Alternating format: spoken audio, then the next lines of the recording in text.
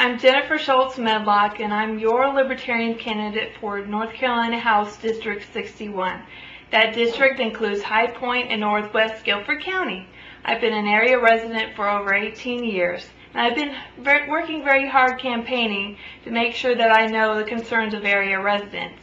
If you send me to Raleigh, I will work hard for you. I will work hard to protect the Bill of Rights.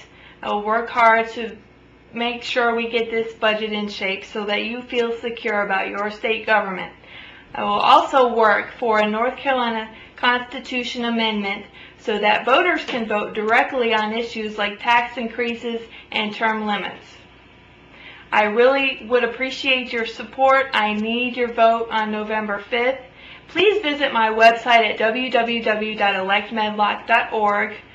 Pass this link on and remember to vote Jenifer Schultz Medlock for North Carolina House District 61 on November 5th.